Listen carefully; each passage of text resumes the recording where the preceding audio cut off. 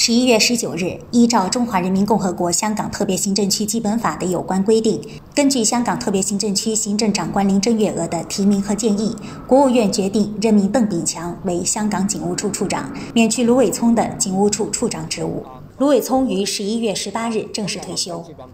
十一月十九日早上，邓炳强在接任后首次媒体记者会上表示，接任警务处处长是他毕生荣幸。在未来的日子里，他会支持香港警察继续执法，希望香港治安能尽快恢复平静。今日能夠接任警務處處長，繼續為香港嘅治安作出貢獻呢，其實係我誒畢生嘅榮幸嚟嘅。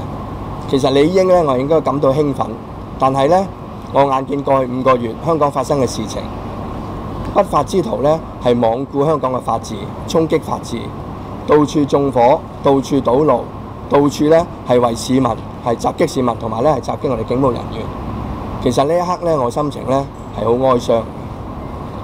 咁我係誒、唯有係喺我而家呢個工作崗位入邊呢，係繼續呢係誒、去承擔嚇。咁、我希望喺嚟緊嘅日子入邊呢。係可以係誒，首先保護好我嘅同事，支持我嘅同事咧，係繼續去執法，亦都希望咧誒暴力嘅人士咧唔好再用暴力啦。我亦都希望咧社會可以繼續支持我哋嘅工作，希望香港嘅治安咧能夠係盡快恢復平靜。據了解，今年五十四歲的鄧炳強，一九八七年於香港中文大學社工系畢業後加入警隊，持有工商管理碩士、國際安全及策略碩士等學位資格，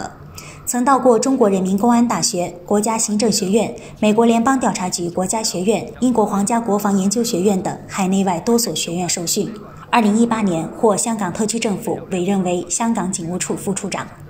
记者亦注意到，十九日沿用了二十年的警队口号。服务为本，精益求精，改为忠诚勇毅，心系社会。香港警务处网站、警总记者室等都已经换上了新口号。更多精彩尽在中国新闻网客户端。